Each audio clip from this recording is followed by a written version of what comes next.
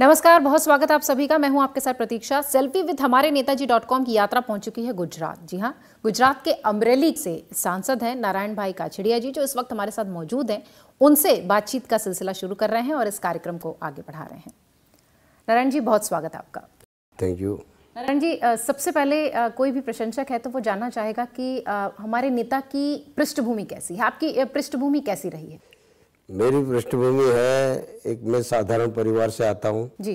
एक किसान का बेटा हूँ और गुजरात के अमरेली डिस्ट्रिक्ट के सावरकुंडला तालुका का सरखड़िया गाँव है। जी। जो आज भी बहुत छोटा गाँव है कि 500 से ज़्यादा हमारी जन आबादी नहीं है उसी गाँव से मैं आता हूँ। और एक मेरा पिताजी जो छोटे किसान थे इनमें से हम तीन भाई हैं।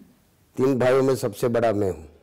और हमारी बहुत कम आमदनी में मैं यहाँ तक पहुँचा हूँ। और मेरी चार बहनें हैं मेरी वाइफ है दो लड़के हैं दो लड़की है ये सब हमारा पूरा परिवार है।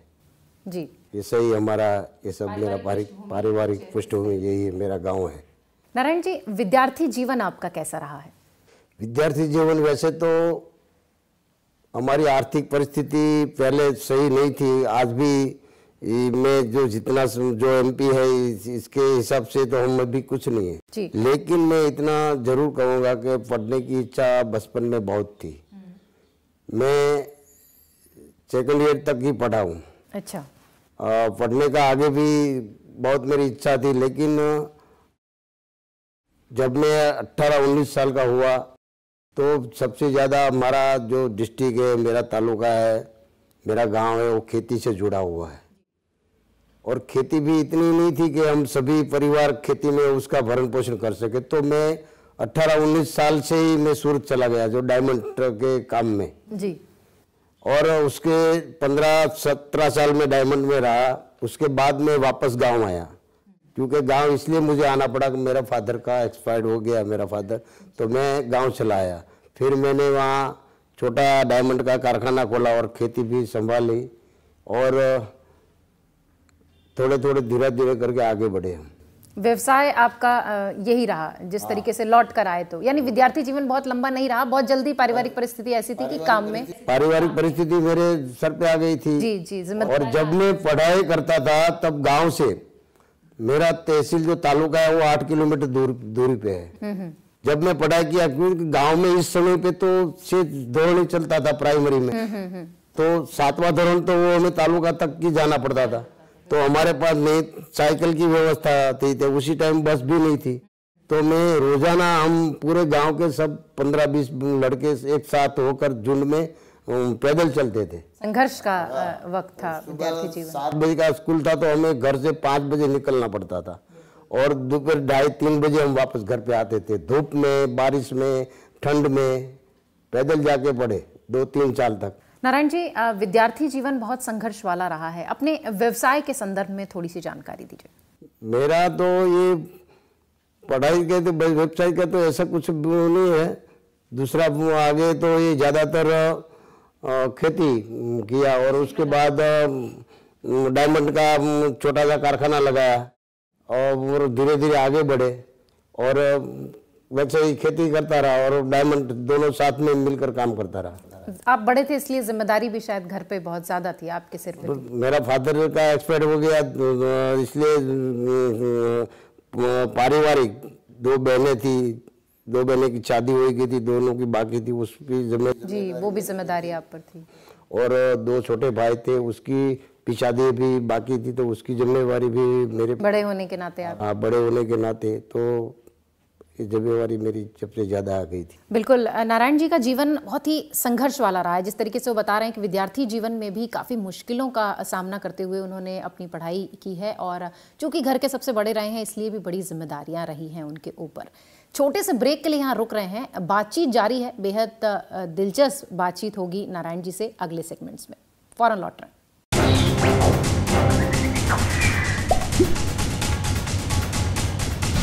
आज तुम्हारे हाथ के पराठों ने तो माँ की याद दिला दी। और लेकर आती हूँ। हम्म। हमारा इरादा ये है कि अगर आप एक सिलेंडर छोड़ते हो तो मैं वो सिलेंडर उस घर को देना चाहता हूँ जिसमें लकड़ी का चूल्हा है। और जिसके कारण पॉल्यूशन होता है और जिसके कारण उनके बच्चों को धुएँ में पलना पड़ता है और बीमारी का घर हो जाता है। ये अब आप फ़ोन में क्या कर रहे हैं? अपनी एलपीजी सब्सिडी गिव अप कर रहा हूँ। अचानक क्यों? मैंने अपनी माँ को लकड़ियाँ चुनते हुए देखा है। मेरे लिए खाना बनाते हुए धुएँ में अपनी आँखें जलाते हुए देखा है। मेरे गिव इट अप करने से उन कई माओ को गैस कनेक्शन मिलेगा जो आज भी लकड़ी के चूल्हे पर खाना बनाती है। आप भी अपनी सब्सिडी छोड़ने के लिए www.mylpg.in या www.givitup.in पर लॉग इन करें। पेट्रोलियम एवं प्राकृतिक गैस मंत्रालय द्वारा जनहित में जारी।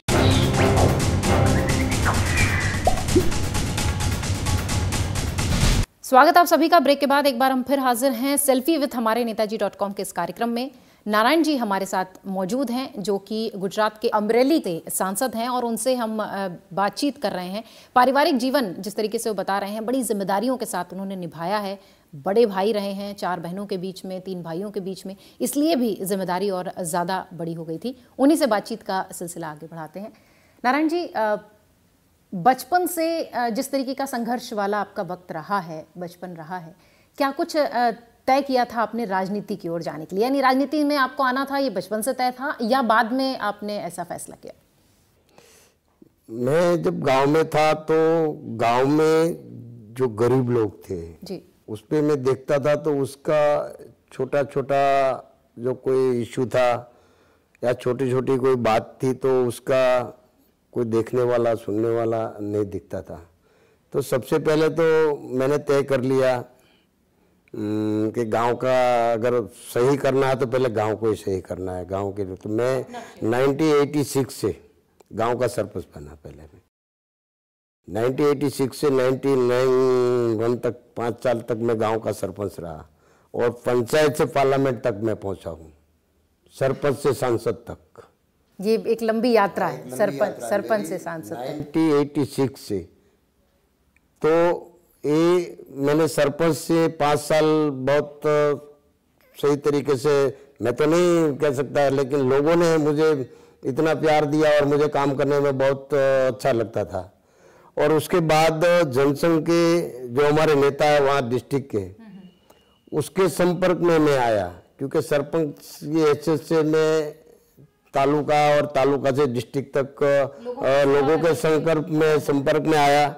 तो उसके साथ बातचीत हुई तो 1995 में जब मैं डायमंड का कारखाना चला रहा था, उसी समय जनसंघ के हमारे नेता, जो हमारे अमरेली के किशोर भाई दवे, जो हमारे जिला भाजपा के प्रमुख थे उस टाइम 1995 में, वो सीधे घर कारखाने पे आए और बोले कि आपको तो डिस्ट्रिक्ट पंचायत का चुनाव लड़ना है। मैंने भी मैंने कभी राजनीति की नहीं है।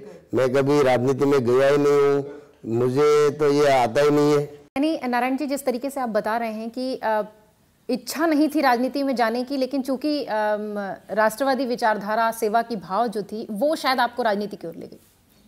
मैंने बोला ना कि ये जो छोटे लोगों की अगर सेवा करना है और छोटे लोगों तक हमें पहुँचना है तो एक सही दिशा में जाना है तो कोई सही पार्टी के साथ अगर एक प्लेटफॉर्म पे जाना पड़ेगा। इसी प्लेटफॉर्म से हम लोगों की सेवा कर सकते हैं। इसी हिसाब से मैं ये राजनीति में आया हूँ।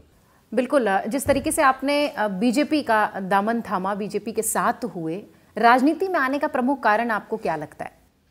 राजनीति में आने का एक ही कारण होता है कि वो अगर कोई बहुत से लोग ऐसे हैं कि जो राजनीति में आने से उसको ऐसा लगता है कि हम ये बनाएँगे, वो बनाएँगे, हम आर्थिक सद्धरता पाएँगे। ये ये राजनीति का ये ये असली नहीं है।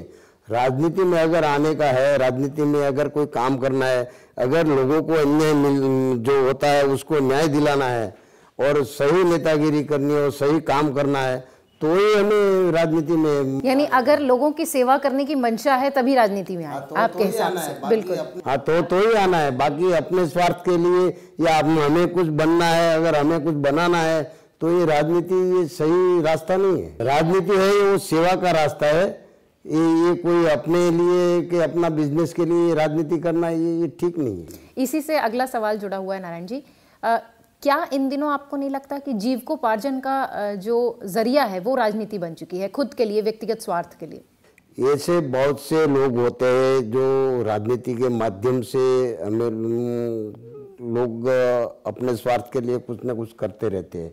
लेकिन मैं इतना ज़रूर सोचता हूँ कि हमारी जो योजना है कि हमारी जो कार्य पद्धति है और भाजपा की जो कार्य पद्धति खास करके है वो सबसे पहले दूसरी पार्टी मैं देखता हूँ तो वो पार्टी सबसे बड़ा समझता है। जी। लेकिन मैं हमारी पार्टी और हमारा पार्टी के नेता सबसे पहले राष्ट्र को देश को मानता है उसके बाद पार्टी को मानते हैं और उसके बाद व्यक्ति को मानते हैं। व्यक्ति को मानते हैं। विचारधारा जो है वो राष्ट्रवादी विचारधारा ऐसी है कि राष्ट्र से बड़ी पार्टी नहीं होती और पार्टी से बड़ा व्यक्ति नहीं होता है। इसलिए मैं भाजपा के साथ जुड़ा हुआ हूँ और भाजपा की विचारधारा के साथ जुड़ा हूँ।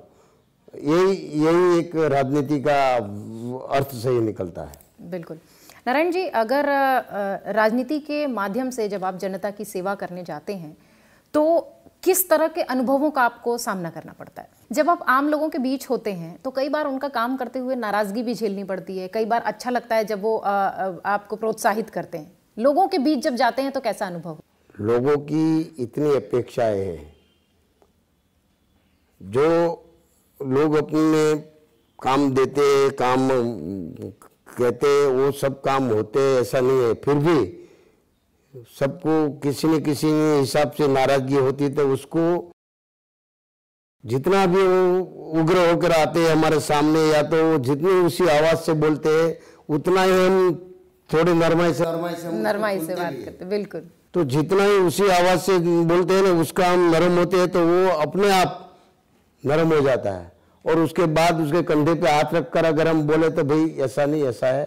ऐसा नहीं ऐसा नहीं उसके लिए ऐसा करना चाहिए ये ऐसा करना चाहिए ये ये काम ऐसा है तो ये नहीं हो रहा है तो आप इतना समझो। अगर तो आप थोड़ी धीरज रखो ये हो जाएगा मैं वादा करता हूँ। उसको समझाना पड़ता है उसके सर पे हाथ रखकर और उसको खंबे पे हाथ रखकर वो जब आता है तो एक तूफ़ान की तरह आता है लेकिन जब जाता है तो हंसकर वो आ जाता है। वो वो- वो- वही नेताओं की खासियत होनी चाहिए। वही खासियत होनी चाहिए। नारायण जी जिस तरीके से बता रहे हैं कि अगर जनता नाराज़गी भी ज़ाहिर करती है तो एक अच्छा नेता वही है जो उनकी नाराज़गी को भी संभाल सके समझा बुझा सके और उनको धैर्य देकर वापस अपने घर भेज सके। एक छोटे से ब्रेक के लिए यहाँ रुकना है। नारायण जी से बातचीत हो रही है। परिवार कितना सहयोग करता है नारायण जी को ये जानेंगे हम एक छोटे से ब्रेक के बाद।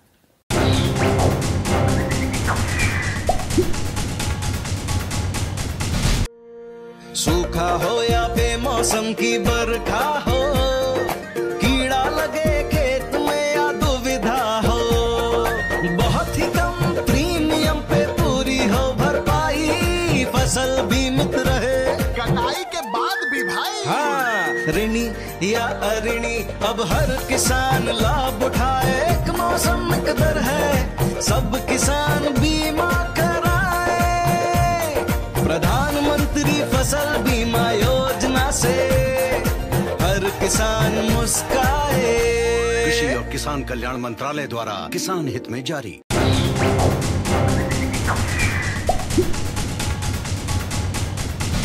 सेल्फी विथ हमारे नेताजी डॉट कॉम जी हाँ ब्रेक के बाद एक बार फिर आप सभी का स्वागत है। हमारे साथ अमरेली के सांसद नारायण जी मौजूद हैं जिनसे हम लगातार बातचीत कर रहे हैं।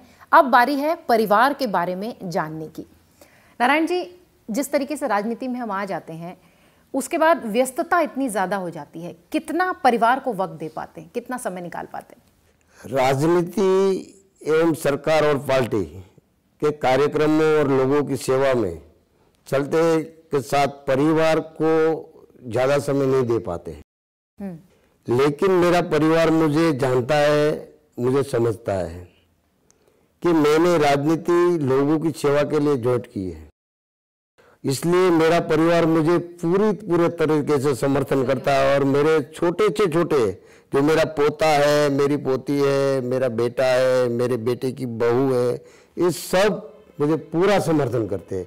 इसलिए मेरा परिवार भी इतना खुश है और मुझे, मैं पूरे दिन की थकान पूरी थकान निकल जाती है घर घर आते ही। आपके परिवार के जो सदस्य हैं जैसा कि आप बता रहे हैं लंबा चौड़ा परिवार है बहुत सारे लोग हैं आपके जो दैनिक कार्य होते हैं उसमें कितना सहयोग उनका मिलता है और क्या क्या सहयोग मिलता है? मेरे परिवार के सभी सदस्यों मेरी राजनीतिक कार्यों में पूरे मन से मदद करते हैं।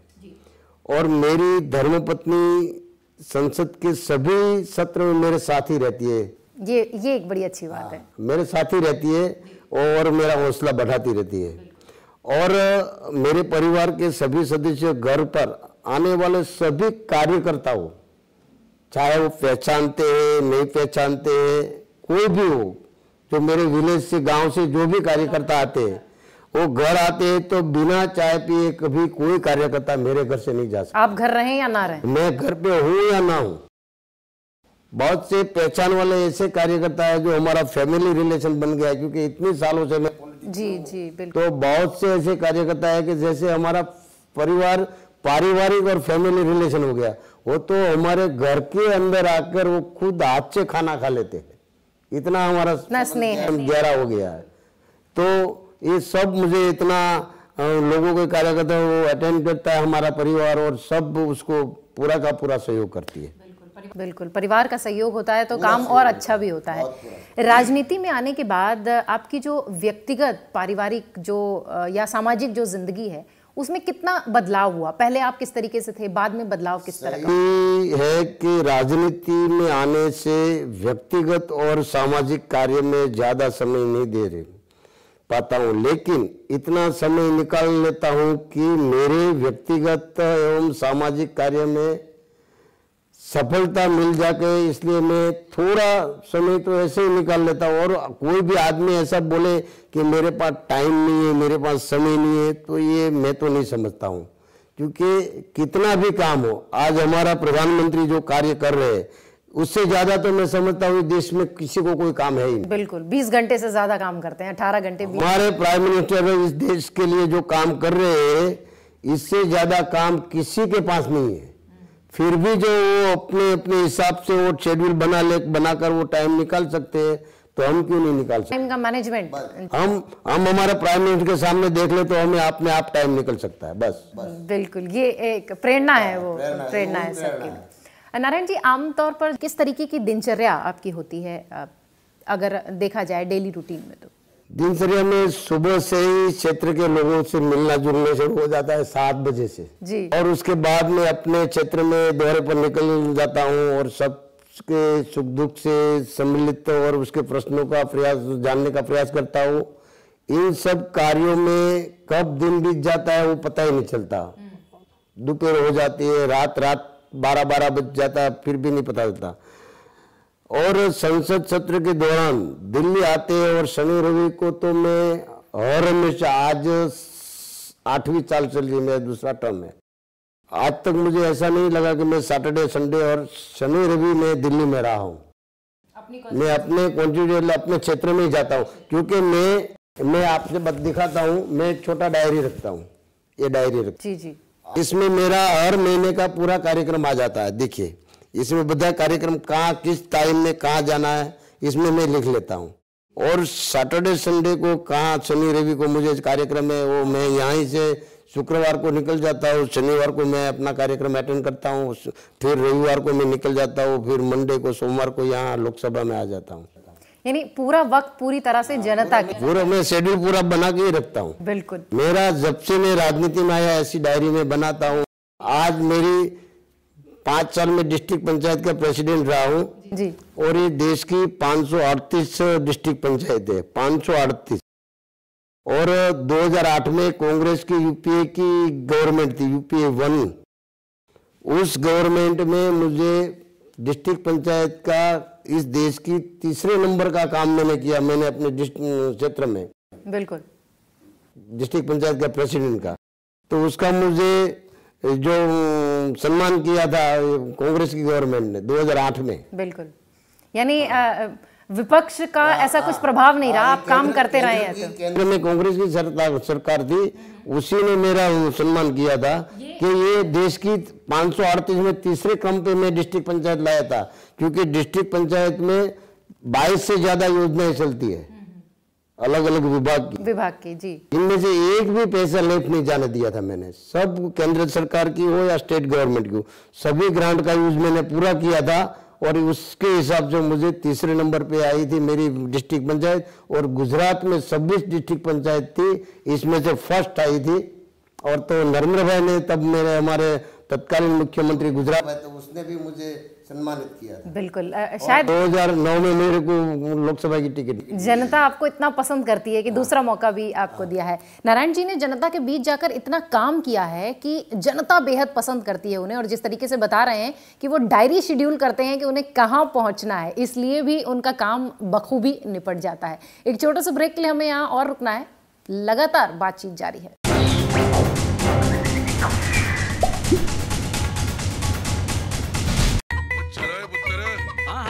चल चल रे साथी चल रे बंधु चल रे साथी चल चल चल। करनी है अब हमें पहल। बेहतर होगा देश का कल। एक नई दिशा एक नई पहल एक नई फिजा एक नई पहल। पर से होगा क्या दादी? अस्पताल और स्कूल बनेंगे घर घर में चूल्हे जलेंगे। जरूरतमंद भी होंगे सबल। अब काला बाजारी रुक जाएगी अम्मा। एक नई पहल एक नई फिजा एक नई पहल।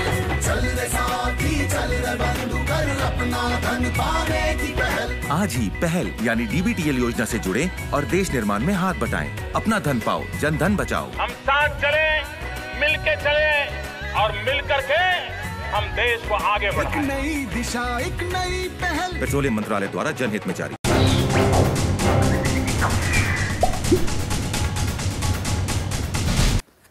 स्वागत एक बार फिर आप सभी का सेल्फी विथ हमारे नेताजी डॉट कॉम। नारायण जी हमारे साथ मौजूद हैं, अमरेली से सांसद हैं और लगातार बातचीत हो रही है। बड़ा संघर्ष रहा है जीवन में इनके, लेकिन उसके बावजूद भी जब जनता के बीच जाते हैं तो जनता के हो जाते हैं। बिल्कुल, उनसे बातचीत आगे बढ़ाते हैं। नारायण जी, अक्सर ये आरोप लगते हैं या इन दिनों अगर देखा जाए तो राजनीति का स्तर जो है वो बहुत ज़्यादा गिरता चला जा रहा है। आपके क्या विचार है बहुत तो आप सही सवाल किया है। राजनीति का स्तर गिर गया और गिरता जा रहा है। और ये बहुत से ऐसे लोग हैं कि वो सभी लोगों को उसका झेलना पड़ता है। जी। कुछ लोग राजनीति में अपने आर्थिक स्वार्थ के लिए और बिज़नेस के लिए आते हैं और उसका इस्तेमाल करते हैं। और हमें खुशी इस बात की है मुझे कि मैं उसी जो नरेंद्र भाई की गवर्नमेंट सेंट्रल में है और ये बड़ा प्रधान है उसकी टीम में मैं एमपी हूँ। बिल्कुल। क्योंकि बहुत से कम लोगों को ये उम्मीद होती है कि नरेंद्र भाई की टीम में काम करना। आज भारतीय जनता पार्टी नरेंद्र भाई के नेतृत्व में जो हम काम कर रहे हैं आप देखिए नरेंद्र भाई 12 साल तक गुजरात के मुख्यमंत्री रहे। उसके बाद आप ढाई साल से ये सेंटर में आप देख रहे हैं। केंद्र की सरकार। बारह साल गुजरात में और ढाई साल सेंटर में एक भी सेंटर में एक भी एमपी या सरकार के मंत्री पे या हमारे प्रधान के हमारी सरकार पे एक भी एलिगेशन नहीं लगा विपक्ष ने कभी भी कोई एलिगेशन नहीं किया कि ये भ्रष्टाचार हुआ या। मीडिया वाले भी नहीं बोल सके। बिल्कुल। 2009 से 2014 तक मैं था। यूपीए टू गवर्नमेंट में। आपको भी पता है कि हर नया दिन और हर नया कौभांड निकल एक स्कैम निकल के आता था। एक गेम कोई ना कोई गेम निकलता था। आज भी आज ढाई साल के बाद भी कांग्रेस के घोटाले कांग्रेस के कौभांड आज भी निकल रहे हैं। लेकिन बीजेपी गवर्नमेंट के नरेंद्र भाई के नेतृत्व में एक भी कौभांड एक भी घोटाले आज भी नहीं हुए। ये, ये अगर ऐसी सरकार चले तो राजनीति का स्तर अपने आप ऊपर आ जाएगा। नारायण जी आपको क्या लगता है? अगर एक आदर्श नेता है तो उसके भीतर क्या गुण होने चाहिए? क्या दोष होने चाहिए? क्या गुण होने चाहिए? एक आदमी के लिए हम ये पूछते हैं कि अगर एक आदर्श नेता हम बना रहे हैं तो उसके लिए क्या गुण हो? मेरे हिसाब से आदर्श नेता यानी नेता को जो भी ज़िम्मेदारी मिले उसे न्याय दे उसका पूरा समय दे। लोगों की बात सुनने का धीरज हो। और लोगों की समस्याओं हल करने की बुद्धिमत्ता हो अपने अभिप्राय विरुद्ध अगर कोई बात करे तो उसे सुनने में उसको सहन करने की या उसको वहन करने की। यानी अगर आलोचना आ, कर रहा है तो उसे सहन करे स्वीकार करे बिल्कुल। उसमें क्षमता होनी चाहिए। और त्वरित निर्णय शक्ति होनी चाहिए। कोई भी डिसीज़न लेना है तो मैं देखता हूँ मैं करता हूँ। मैं सोचता हूँ आश्वासन ना हो। ऐसा नहीं। अगर जो कोई सही काम है अगर कोई कार्यकर्ता हो या कोई आम जनता हो वो कोई भी इश्यू लेकर अपने पास आए। अगर अपने एक इश्यू पर बार जानकारी ले ली कि भाई इश्यू सही है और ये करना चाहिए बिल्कुल। तो हमें करता हूँ देखता हूँ सोचता हूँ ऐसा नहीं। सीधा हमें फ़ोन उठाना चाहिए। जिन विभाग को जो भी अधिकारी को ये लागू होता है उनके सामने उसको फ़ोन करके बोलना चाहिए कि ये काम ये आदमी को मैं भेजता हूँ ये काम करना कितने दिन में होता है? वही उसको ये अंदाज़ा लगता है कि नहीं ये नेता ने हमें फ़ोन कर दिया हमारा काम हंड्रेड परसेंट हो जाएगा। ये विश्वास तो सामने वाले में होना ही चाहिए। बिल्कुल। यानी ये नेता के आदर्श नेता वही होंगे। और, और आदर्श नेता उसको भी बोलते हैं जब हम वोट मांगने जाते हैं हम हाथ जोड़ते हैं हमारे चेहरे पे स्माइल होती है हम उसके सामने हँसते हैं लेकिन वही आदमी जब वही व्यक्ति जब हमारे पास कोई काम लेकर आता है तो हमारे चेहरे पे करसली लगने पर लगती है। हमें चेहरे पे पसीना आ जाता है हमारा चेहरा उलट पुलट हो जाता है। ऐसा नहीं होना चाहिए। जिस तरह जिस समय हम वोट मांगने गए थे उसी समय हमारा चेहरा जितना हंसता था उतना ही वो काम लेके आते तो उसी टाइम वो हमें भी ऐसे ही होना चाहिए। तो आदमी को कभी कोई दिक्कत नहीं पड़ती। इसीलिए नारायण जी और आसमान में नहीं नीचे रहना चाहिए बस। जनता के बीच इसलिए इतने लोकप्रिय हैं क्योंकि ज़मीन से जुड़े हुए नेता हैं और लोगों के बीच हमेशा जाकर उनसे बातचीत करते हैं और उनकी समस्याओं को सुनते हैं। नारायण जी राजनीति पर हम बात कर रहे थे। अगला सवाल आपसे ये है कि राजनीति का जो स्तर इन दिनों गिर रहा है या जो स्तर नीचे जा रहा है भाषा को लेकर एक दूसरे के आक्षेप को लेकर क्या आपको लगता है कि जो वर्तमान में राजनीतिज्ञ हैं जो नेता हैं वो ही इसके लिए जिम्मेदार हैं? आजकल हो रही राजनीति के स्तर के बारे में वर्तमान के सदस्यों को जिम्मेदार नहीं ठहरा जा सकता मैं मेरे हिसाब से। क्योंकि देश की आज़ादी के बाद आज सत्तर साल हुआ अपने हमारी आज़ादी मिली उन सत्तरवा साल चल रहा है। सत्ता में सबसे ज़्यादा कौन रहे? आप बताइए। कांग्रेस की सरकार। कांग्रेस ही रही। सत्तर साल में से साठ साल तक हमारे देश में कांग्रेस ने शासन किया या तो कांग्रेस की विचारधारा वाली सरकार ने काम किया। तो मैं कांग्रेस पार्टी के शासन जो किया तो उन लोगों की जवाबदारी है ना। हमारी सरकार आई अभी तो अट्ठाईस साल हुई है आप जानती हैं। जो। भी ये सिचुएशन खराब किया है जो राजनीति का स्तर नीचे गिराया है भी किया है वो किसने किया है? आप ही मुझे जवाब दीजिए मैं मैं मैं, मैं जवाब नहीं दे रहा हूँ। आप जवाब दीजिए। ये सितर साल में हमारा तो हमें तो अट्ठाईस साल से ही आए सत्ता में। आज तक का राजनीति के लोगों का विश्वास जो पलट रहा है वो किसने ये स्तर किस कौन लाया है? जिसका ज़्यादा हिस्सा माना जाता है। ये कांग्रेस पार्टी शासन किया और लोगों ने खुद को फ़ायदे के लिए, उन कांग्रेस ने खुद के फ़ायदे के लिए, आर्थिक स्वार्थ के लिए राजनीति का राजनीति का स्तर नीचे लाए हैं कांग्रेस वाले लाए हैं।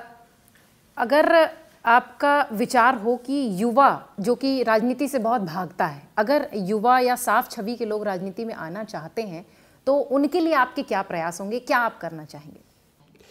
मेरे नज़रिए में, राजनीति में जो युवा वर्ग ज़्यादा ऊर्जावान है, प्रमाणिक है, जिनके पास पूरी कार्यक्षमता है, इस तकनीकी के युग में, वो काफ़ी सशक्त है, जो भावनात्मक तरीके से लोगों की तकनीकी को समझने की क्षमता रखते हैं।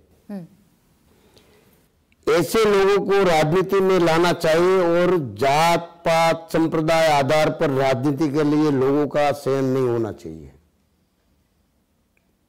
और दूसरा, अच्छे युवा वर्ग को राजनीति में आएँगे तो देश का विकास होगा और लोगों को, जो हमने अगले अभी बोला कि राजनीति का स्तर नीचे क्यों जा रहा है तो इससे अगर राजनीति में सही युवा वर्ग आएँगे तो अपने आप राजनीति का स्तर ऊँचा आएगा सुधार आ जाएगा कुछ सुधार आएगा। बिल्कुल।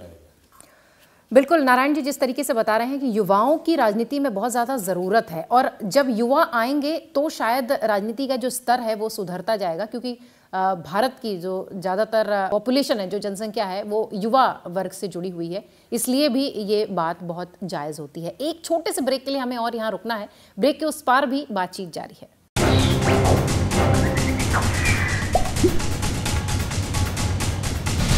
आज तुम्हारे हाथ के पराठों ने तो माँ की याद दिला दी। और लेकर आती हूँ। हम्म। हमारा इरादा ये है कि अगर आप एक सिलेंडर छोड़ते हो तो मैं वो सिलेंडर उस घर को देना चाहता हूँ जिसमें लकड़ी का चूल्हा है और जिसके कारण पॉल्यूशन होता है और जिसके कारण उनके बच्चों को धुएँ में पलना पड़ता है और बीमारी का घर हो जाता है। ये अब आप फ़ोन में क्या कर रहे हैं? अपनी एलपीजी सब्सिडी गिव अप कर रहा हूँ। अचानक क्यों? मैंने अपनी माँ को लकड़ियाँ चुनते हुए देखा है। मेरे लिए खाना बनाते हुए, धुएँ में अपनी आँखें जलाते हुए देखा है।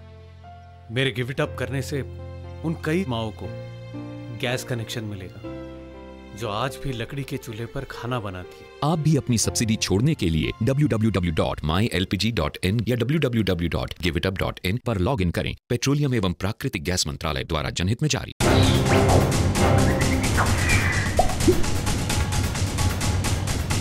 एक बार फिर आप सभी का स्वागत है। सेल्फी विथ हमारे नेताजी डॉट कॉम नारायण जी, जो लगातार हमसे बातचीत कर रहे हैं और बहुत ही स्पष्ट और सटीक अपने जवाब रखे हैं। उन्होंने तमाम विषयों पर युवाओं को जिस तरीके से प्रोत्साहित कर रहे हैं, जनता के बीच जिस तरीके से जाते हैं, इसलिए भी शायद दूसरा मौका जनता ने इन्हें दिया है और इतने पॉपुलर हैं, इतने प्रशंसक हैं लोगों के बीच के। नारायण जी, अगला सवाल अब भारतीय जनता पार्टी से जुड़ा हुआ है। जिस तरीके से आप बीच में कह भी रहे थे कि मुझे भारतीय जनता पार्टी की विचारधारा बहुत पसंद आई। राजनीति के साथ जब जुड़ने की बात हुई तो नारायण जी ने भारतीय जनता पार्टी को क्यों चुना? यानी पसंदीदा पार्टी और भी हो सकती थी, भारतीय जनता पार्टी ही क्यों?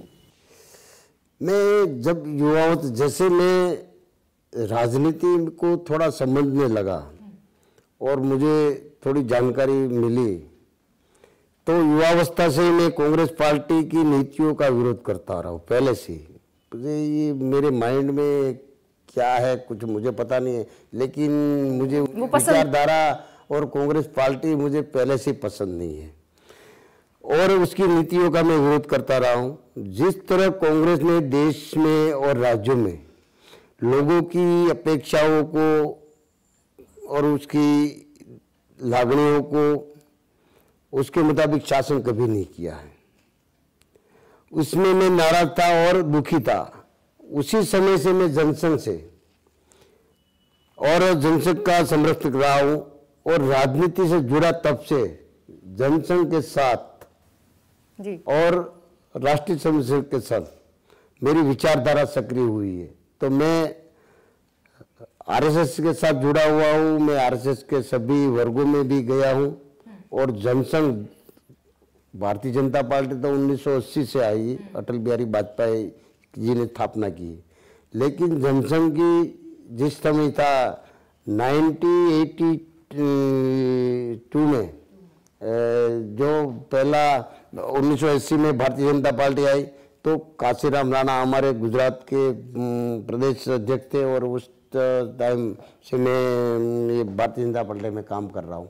तो पहले से मैं भारतीय जनता पार्टी से विचारधारा से जुड़ा हुआ हूँ। तो दूसरी जगह पे मेरा मन लगता ही नहीं कभी। और गुजरात में तो आपको पता है कि गुजरात में तो कांग्रेस और भारतीय जनता पार्टी दो ही पार्टी है। दो ही पार्टी दो ही बड़ी पार्टियाँ जी। भारतीय जनता पार्टी से जुड़े रहे, ये एक बहुत अच्छी बात आपने कही कि आपको विचारधारा पसंद थी तो आपने उनका चयन किया। अगर भारतीय जनता पार्टी की बात करें तो दूसरी पार्टियों से कैसे ये बेहतर पार्टी है, अपने आप में?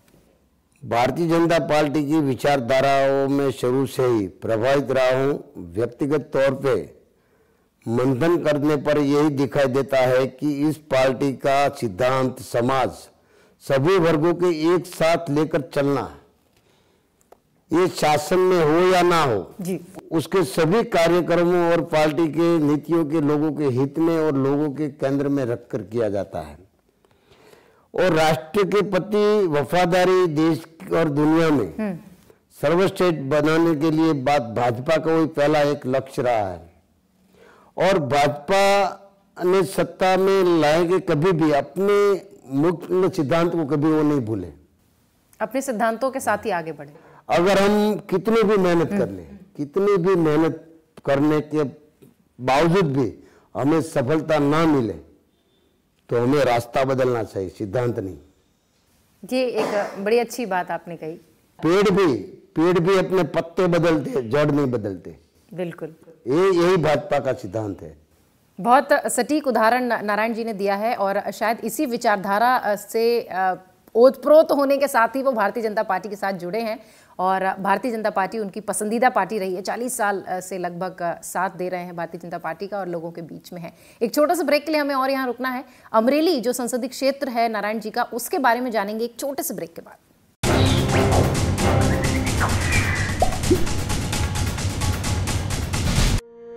सूखा हो या बेमौसम की बरखा हो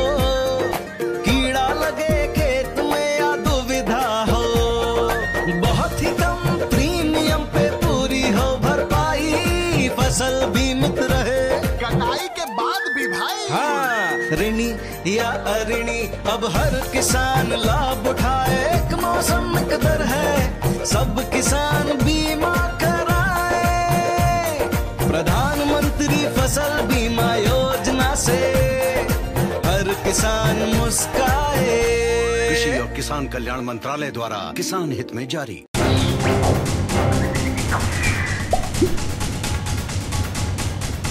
एक बार फिर आप सभी का स्वागत है, सेल्फी विथ हमारे नेताजी डॉट कॉम, अमरेली के सांसद जो भारतीय जनता पार्टी से सांसद हैं और इस वक्त हमारे साथ मौजूद हैं। उनसे तमाम बातचीत हो रही है, बहुत ही सटीक जवाब वो अपनी तमाम सवालों का दे रहे हैं। इसलिए भी, क्योंकि अनुभव बोलता है, कहते हैं, इतने सालों से राजनीति में है नारायण जी, इसलिए उनका अनुभव शायद उनको यहाँ तक ले आया है। नारायण जी आपका जो गुजरात का क्षेत्र है, अमरेली वो भौगोलिक रूप से या आर्थिक रूप से उसकी संरचना कैसी है? वो कैसा है? मैं गुजरात के अमरेली ज़िले का सांसद के तौर पर प्रतिनिधित्व करता हूँ और मेरे ज़िले का ज़्यादातर एरिया खेती से जुड़ा हुआ है। कृषि प्रधान। हाँ कृषि है। जी। 90 परसेंट कृषि एरिया है। मेरे ज़िले का 70 प्रतिशत से ज़्यादा लोग खेती पे निर्भर है।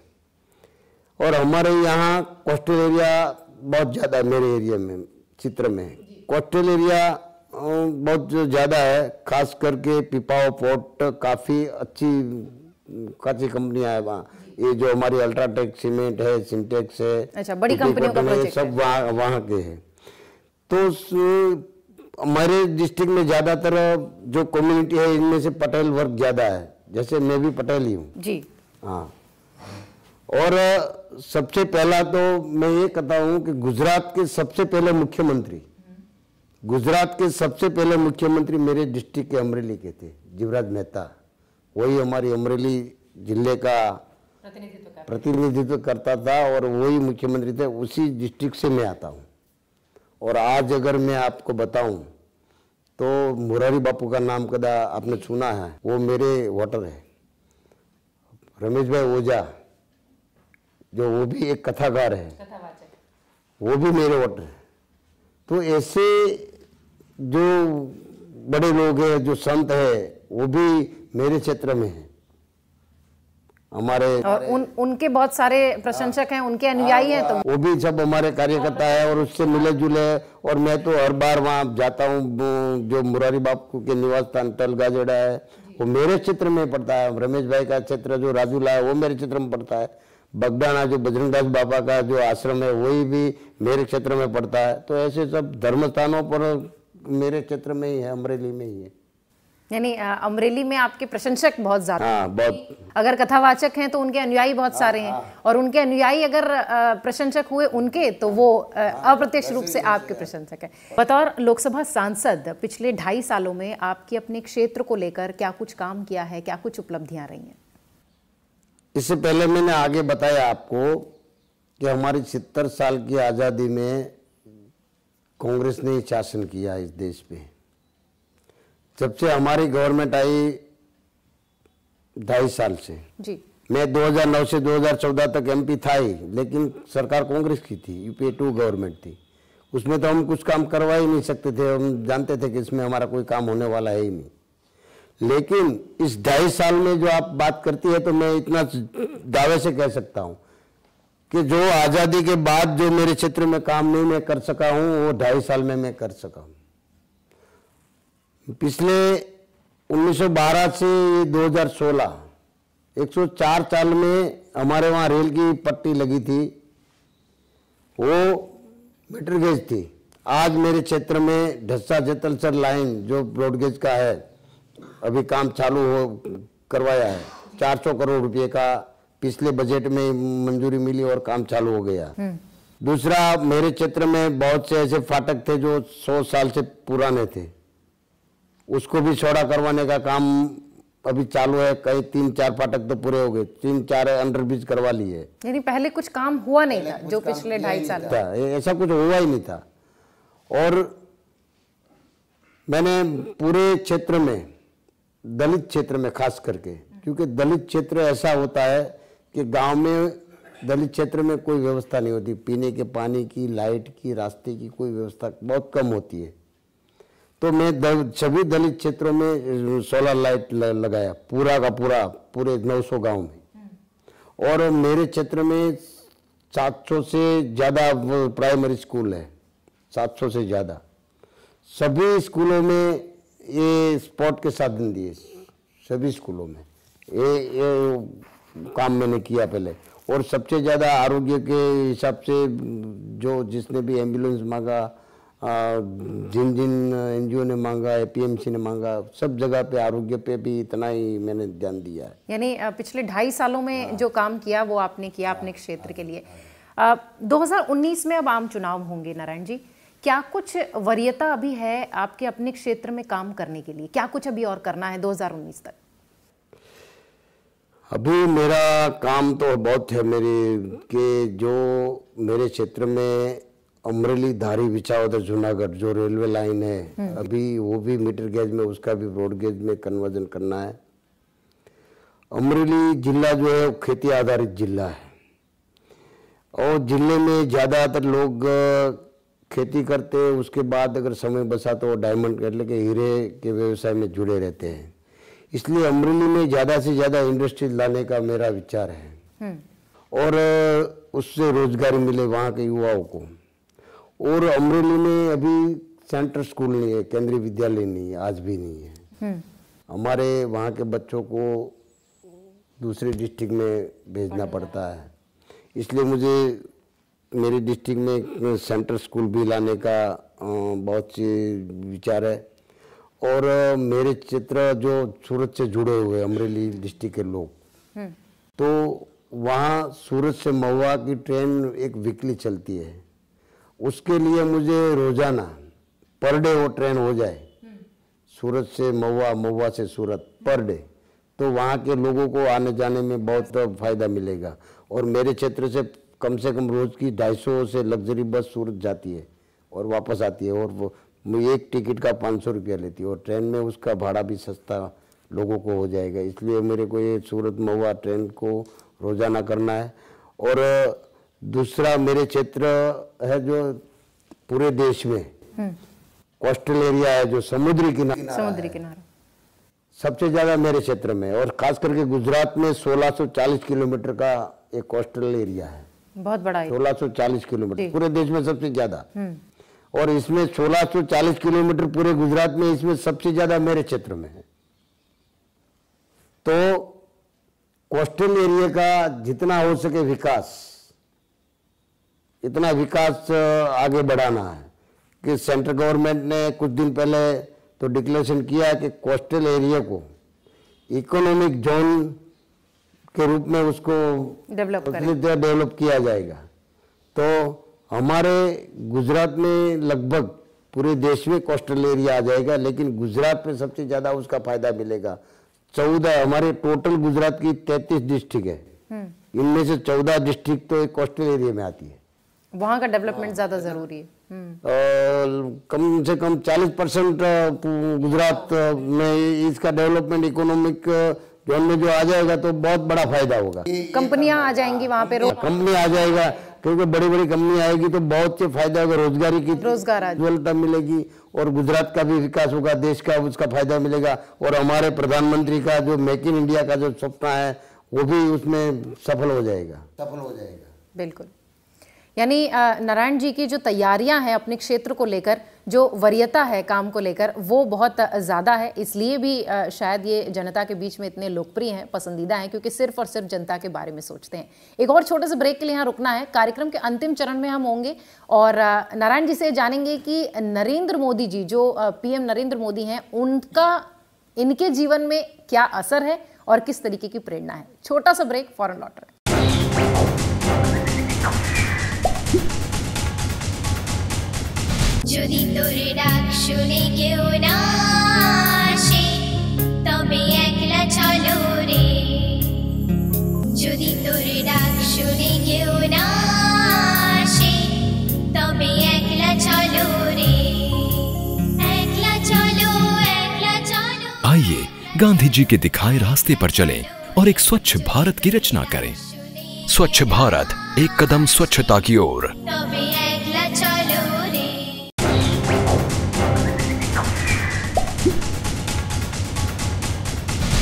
ब्रेक के बाद एक बार फिर आप सभी का स्वागत है। कार्यक्रम के अंतिम चरण में हम हैं। नारायण जी से बातचीत हमने की। बहुत दिलचस्प तरीके से वो सारे सवालों का जवाब देते रहे। अपने जीवन के जो संघर्ष हैं, वो हमसे साझा कर रहे हैं उन्होंने। और इसके साथ ही उन्होंने ये भी बताया कि जनता के बीच में अगर काम करते हुए नेता होते हैं तो उन्हें आगे बढ़ने से कोई नहीं रोक सकता। 2014 से लेकर अब तक अगर पिछले दो वर्षों में बात की जाए तो जो केंद्र सरकार काम कर रही है या जो केंद्र सरकार ने काम किया है उन कामों का विश्लेषण अगर आपको करना हो तो कैसे करेंगे? ढाई साल में जो सरकार ने काम किया है वो आप जानती है कि जनधन योजना सबसे इस देश की महत्व की योजना जो 25 करोड़ से ज़्यादा खाता देश में खुले और बहत्तर हज़ार करोड़ से ज़्यादा इसमें डिपॉजिट आई। और स्वच्छ भारत आज हम जा देखते मैं तो पिछली बार भी देखता था। आज हम कहीं भी किसी भी ऑफ़िस में जाते हैं किसी भी रेलवे स्टेशन में जाए बस स्टॉप पे जाए कहीं भी जाए तो एक स्वच्छ भारत दिखता है हमें महसूस होता है कि मेरा भारत स्वच्छ होने होता जा लोग जागरूक हुए हाँ। लोग जागरूक हो रहे हैं।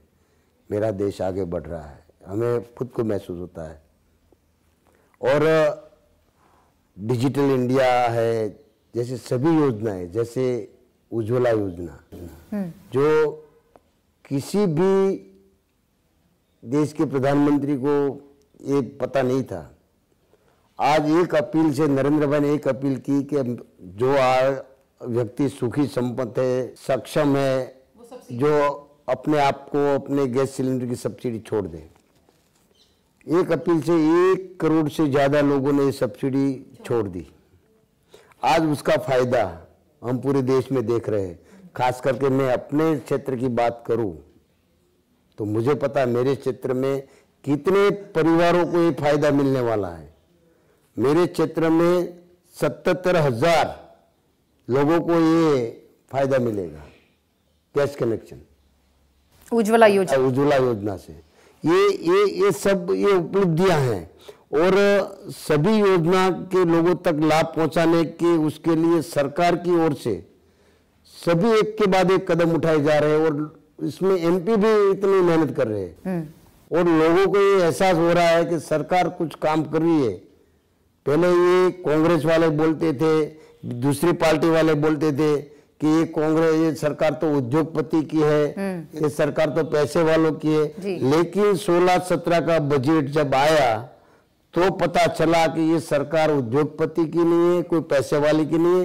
ये सरकार है गाँव गरीब और किसान की। गरीबों की सरकार है, किसानों की सरकार है और गाँव वालों की सरकार है।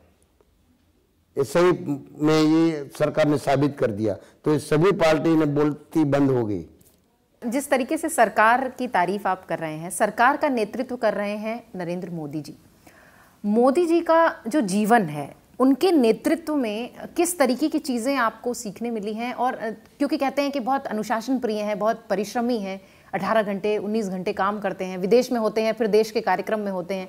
जिस तरीके से उनकी दिनचर्या है या उनका रूटीन है, क्या कुछ सीखने को मिलता है मोदी जी से? मोदी जी जिस तरह काम करते हैं और जिस तरह उनकी दिनचर्या है, उससे हमें प्रेरणा मिलती है कि अपना ज़्यादा से ज़्यादा समय लोगों की सेवा के लिए देना है और देश के आगे बढ़ाने के लिए। उसको काम करना है। जी। और जो भी काम करना है वो संभलते वक्त और सभी प्रयास करने के बावजूद भी उसमें सफलता मिलनी चाहिए। आज मोदी जी जिस तरीके से काम कर रहे हैं उसके चेहरे पे उसके शरीर पे कहीं आप थकान नहीं दिखती कभी। वो वैसे ही एकदम रौनक बरकरार रहती। फुल रहते हैं। उसी तरह वो क्योंकि काम में अगर काम सही काम है और दिल से काम करे तो कभी थकान होती ही नहीं है। और मैं आज इतने सालों से पॉलिटिक्स में हूँ लेकिन मैं मैंने कभी ऐसा नहीं बोला कि आज तो मैं बहुत थक गया हूँ आज तो मैं बहुत बोर हो गया हूँ। मैं कभी नहीं ऐसा मेरे को हुआ। लेकिन हाँ मेरे साथ जो कार्यकर्ता मेरे साथ गाड़ी में रहते हैं वो आ जाते हैं वो दूसरे दिन नहीं आते थक जाते हैं। वो थक जाते हैं। वो लेकिन मेरे को आज तक मैंने सुबह आठ बजे निकलता हूँ रात को बारह एक बजे तक मैं घर पे आता हूँ तो मुझे कभी ऐसा नहीं होता कि मैं आज थक गया हूँ। यानी ये प्रेरणा यूँ कहें कि मोदी जी से ही है। क्योंकि मैं मैं इतना ही सोचता हूँ कि मोदी जी मोदी जी जितना काम कर रहे हैं उससे दस परसेंट भी मैं काम नहीं कर रहा हूँ तो मुझे क्यों थकान लगेगी? जी। ये ये सोचकर ही मैं आगे बढ़ता हूँ बस। कि इससे मोदी जी जितना काम तो मेरे पास है ही नहीं। तो उसको जो थकान नहीं लगती है तो मेरे मेरे को क्यों लगे? यानी मोदी जी प्रेरणा है आपके लिए। प्रेरणा मेरी है। आपके साथ बहुतों के लिए प्रेरणा का स्रोत हैं पीएम मोदी। इस कार्यक्रम का अंतिम सवाल आपसे है। बतौर सांसद जिस तरीके की केंद्र सरकार चल रही है या जो नेतृत्व सरकार कर रही है अगर एक सांसद के तौर पर या एक आम आदमी के तौर पर आपको नंबर देना हो एक से दस के बीच में तो आकलन क्या करेंगे आप? इस समय केंद्र की सरकार में जो नरेंद्र भाई मोदी के नेतृत्व में जो चल रही है। जी। और सरकार को बतौर भाजपा को सांसद देश के विकास के संबंध में अगर जो मुझे कोई नंबर देना है तो मैं तो पूरा दस नंबर नरेंद्र भाई को इस सरकार को दूँगा पूरे दस नंबर।